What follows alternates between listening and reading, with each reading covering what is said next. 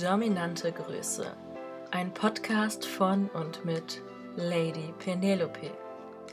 Ich bin die Expertin für die sexuelle Erfüllung von devoten Männern und möchte dir in diesem Podcast zeigen, wie du deine geheimsten Fantasien und Vorlieben endlich ausleben kannst.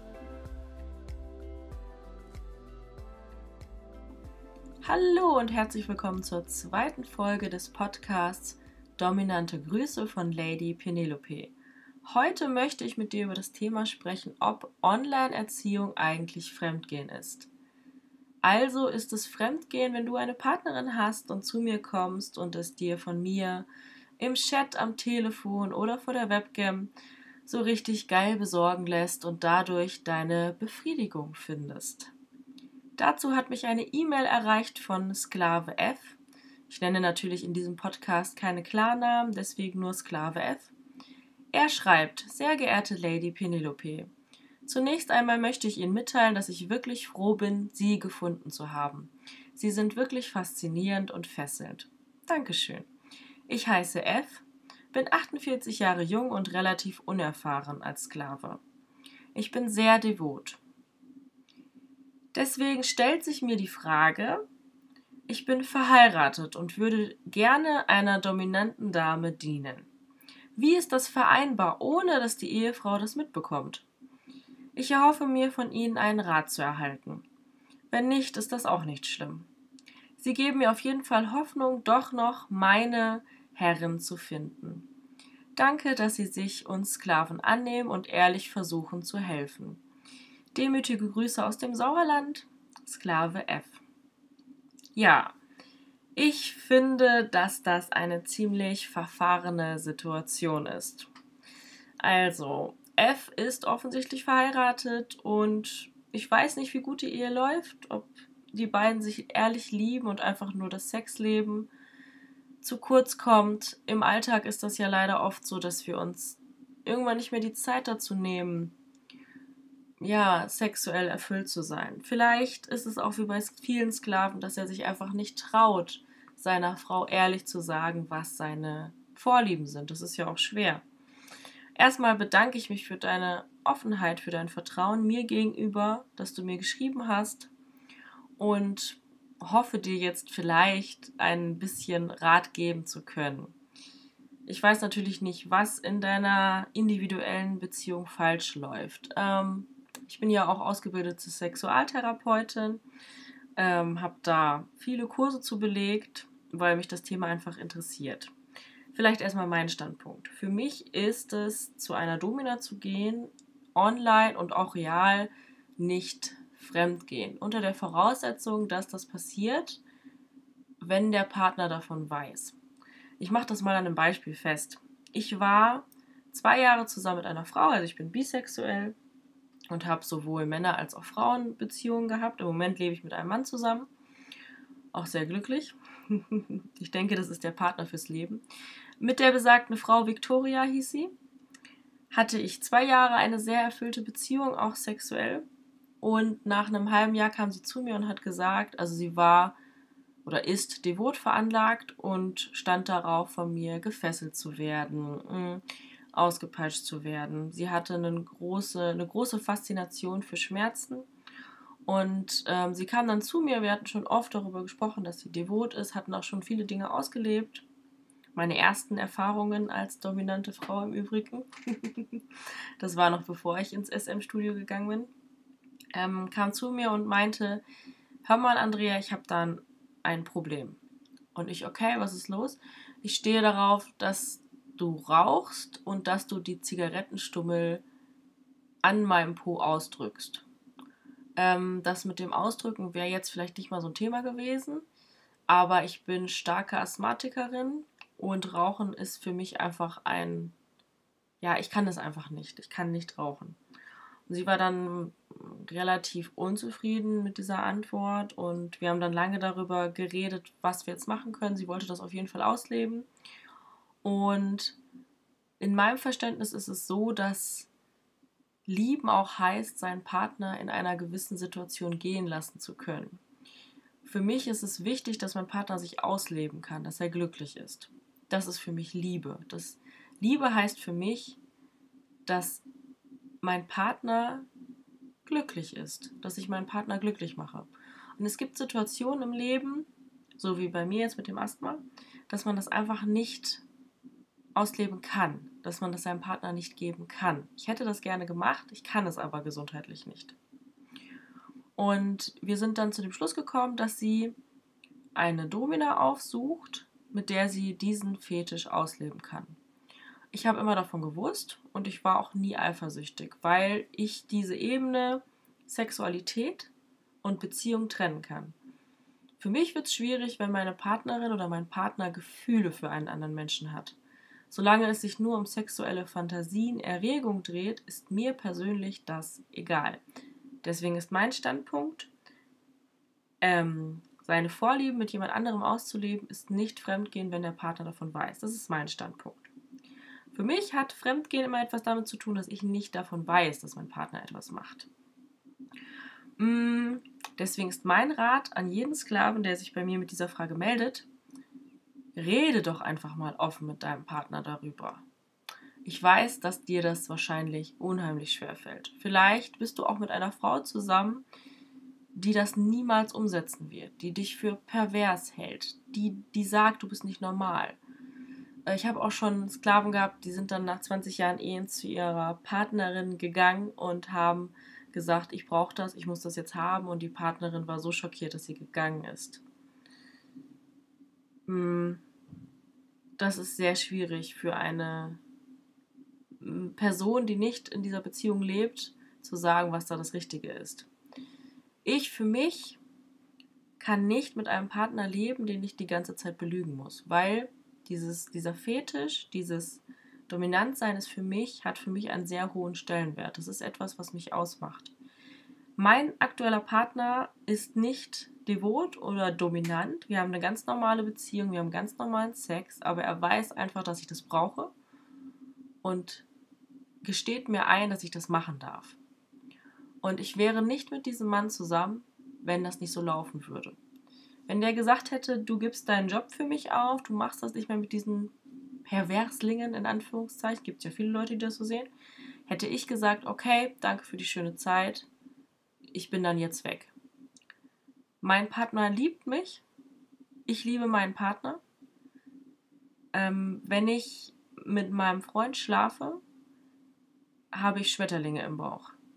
Das habe ich mit meinem Haussklaven nicht. Wenn ich meinen Haussklaven in den Arsch ficke, empfinde ich Lust dabei, aber ich liebe meinen Haussklaven nicht. Wir haben eine tiefe emotionale Beziehung, aber ich verspüre keine Liebe zu diesem Menschen.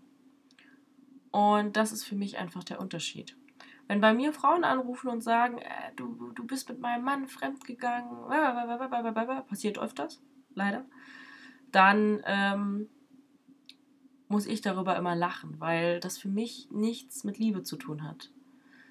Dass diese, für mich lieben diese, diese, diese Menschen ihren Partner nicht, sondern sie wollen ihn besitzen. Das ist für mich ein großer Unterschied. Ähm, wenn ich, Konfuzius hat mal gesagt, was du liebst, lass frei. Kommt es zurück, gehört es dir. Ja, ich finde, wenn ich meinen Partner liebe, dann kann ich ihm zugestehen, dass ich zu jemand anderem gehe. So. Ich denke, im Fall von ähm, Sklave F wird es so sein, dass er mir sagen wird, nein, ich kann auf gar keinen Fall mit meiner Frau darüber reden. Die sagt, ich bin pervers und sonst was. Das ist deine persönliche Meinung. Ich möchte hier niemanden dazu aufrufen, auffordern, dass er irgendwelche Dinge mit mir macht, von denen seine Frau nichts weiß. Ich ganz persönlich denke, dass es nicht meine Aufgabe ist, hier der Sittenwächter zu sein. Ich möchte meine Passion, meine Vorliebe ist es, Menschen zu befriedigen und ich mische mich nicht in ihre Partnerschaft ein. So, wenn es jetzt so ist, dass du sagst, ich möchte auf gar keinen Fall mit meiner Frau darüber reden, ich möchte das alleine für mich geheim ausleben, ich persönlich finde auch, dass es eine Paarsexualität gibt, die gehört euch beiden und es gibt eine individuelle, einzelne Sexualität, die gehört nur dir. Und in dieser darfst du auch Dinge ausleben, von denen dein Partner nichts weiß. Für mich persönlich ist das nicht Fremdgehen. Ich fände es natürlich cooler, wenn du offen damit umgehen würdest und zu deiner Frau gehen würdest und sagen würdest, ey Schatz, hör mal zu, ich habe die letzten Jahre diese Fantasien und ich möchte die jetzt endlich ausleben. Lass uns das bitte machen. Und sie sagt dann, nee, habe ich keinen Bock drauf. Dann finde ich es legitim, wenn du zu jemand anderen gehst, der dir diesen Wunsch erfüllt.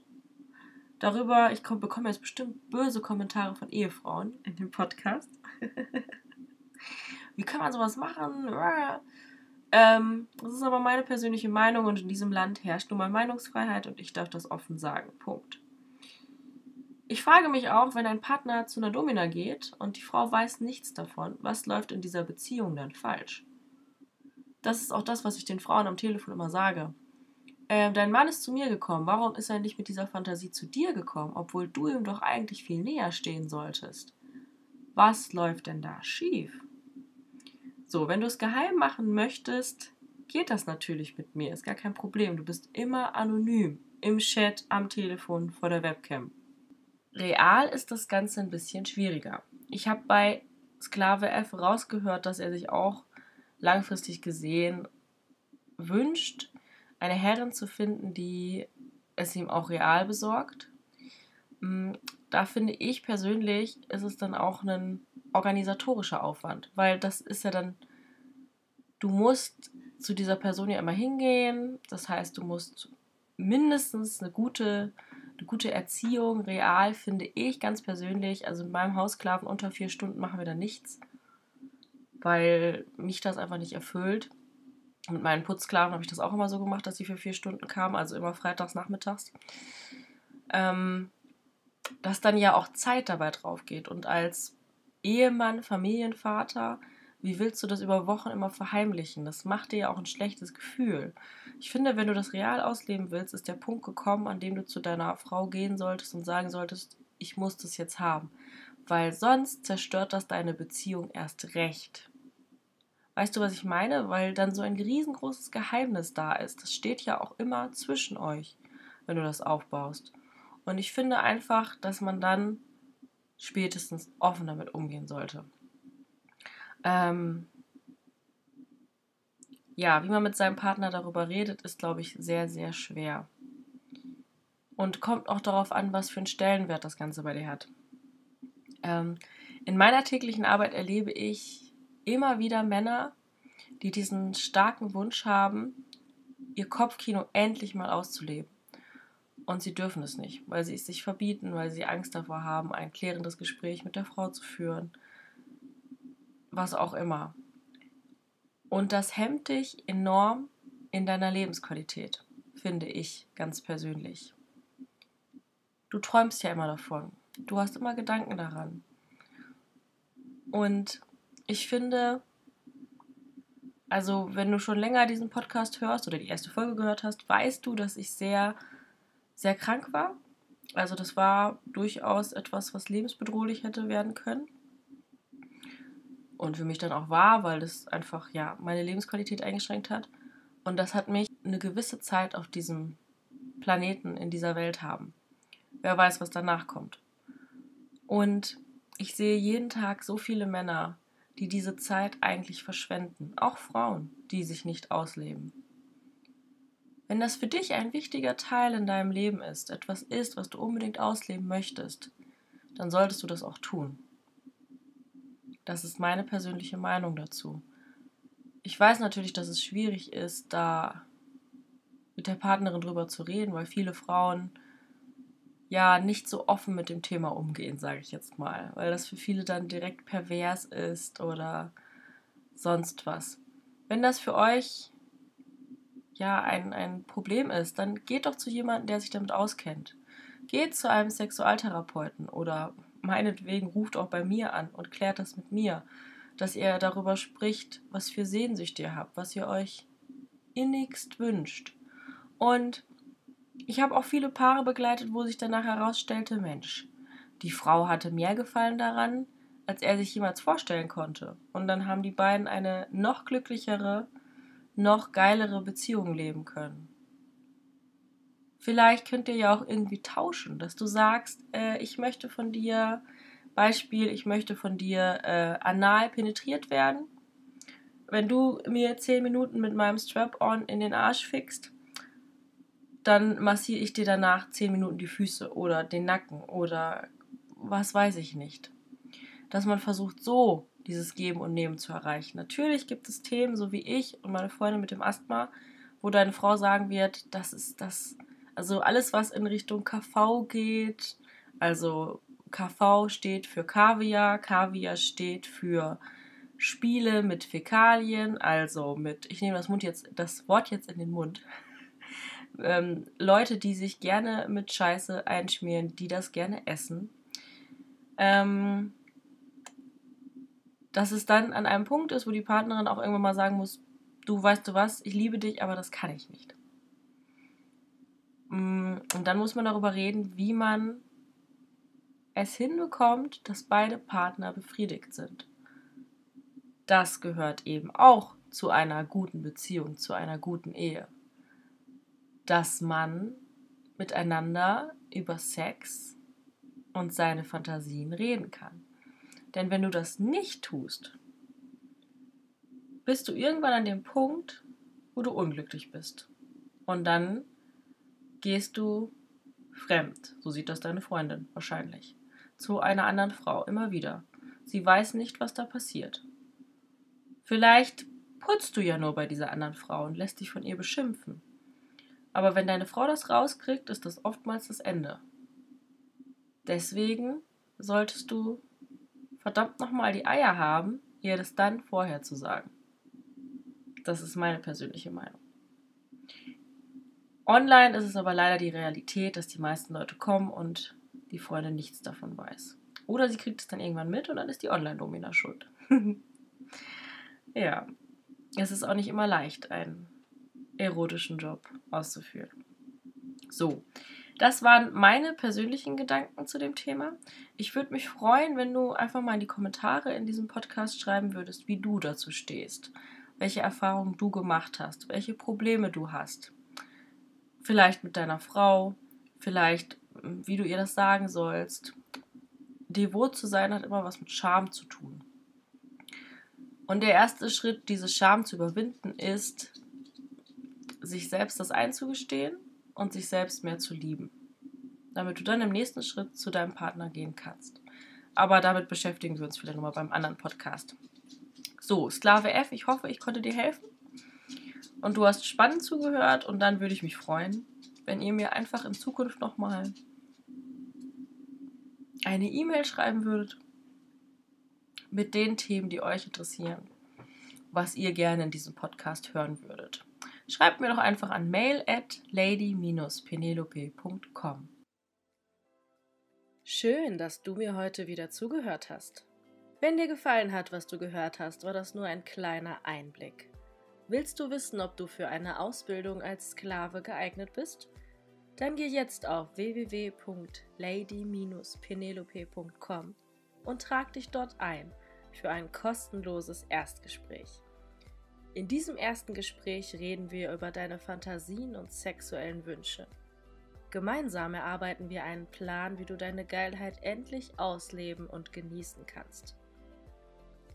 Du wirst alle nötigen Grundlagen eines Sklaven erlernen und deinen Fetisch mit mir zusammen entdecken.